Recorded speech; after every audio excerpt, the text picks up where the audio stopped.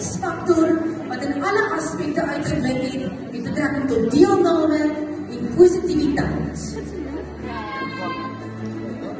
Meneer en mevrouw deurlopend is.